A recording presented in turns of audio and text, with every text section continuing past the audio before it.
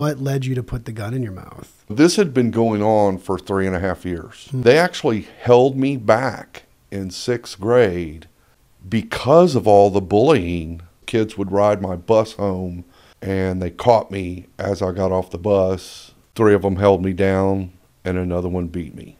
The bus driver, who was a coach, sat there and watched. And my mother screamed at him, Are you going to do nothing? And he hmm. shut the door and drove off. That day that he shoved my head in the urinal, I immediately left there, went to the principal. The principal said, Look, boys will be boys. And uh, I just had it. Yeah. You know, I just had it. And I went home. And I got the 45 out of my father's drawer and put it in my mouth. I had nobody in the school system to help me. Lance, you were the one that shoved my head in the urinal. Uh, Mr. Thank you.